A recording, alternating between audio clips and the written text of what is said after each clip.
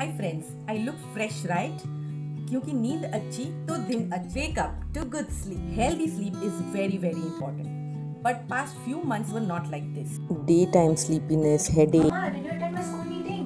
No, beta, I forgot. By the way, Mama, I have noticed from few months that you become tired very soon. You forget things, and even Dad told me that you snore a lot while sleeping.